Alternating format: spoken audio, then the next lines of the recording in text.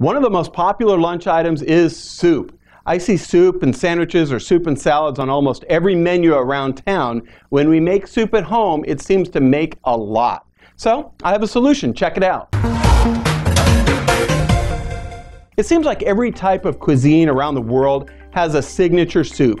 And there are so many types of soup, hot, cold, clear, hearty. Soups also freeze well. So the next time you make your favorite soup, but you get burnt out on it before it's all gone, freeze it. Here's my top hacks to freezing soup.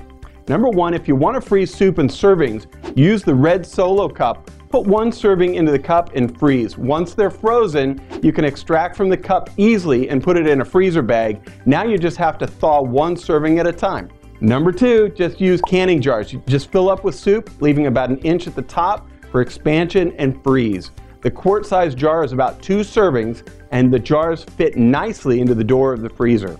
Number three, pasta gets mushy when you reheat it in the soup. So if you make soups with pasta, a great idea is freeze the soup base before adding the pasta.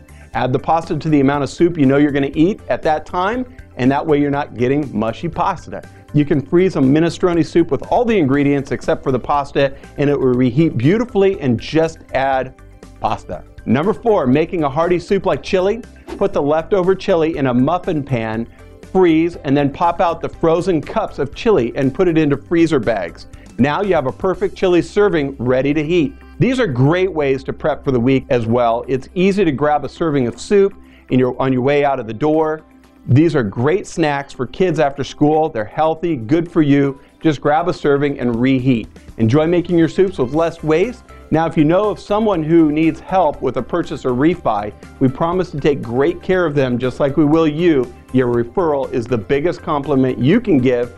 Thanks for watching. Have a great week, and I look forward to talking to you.